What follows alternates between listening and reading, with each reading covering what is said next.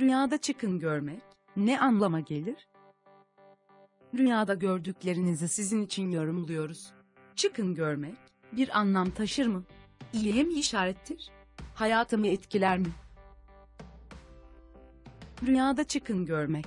Çıkın rüyada çekin görmek, mala yorumlanır.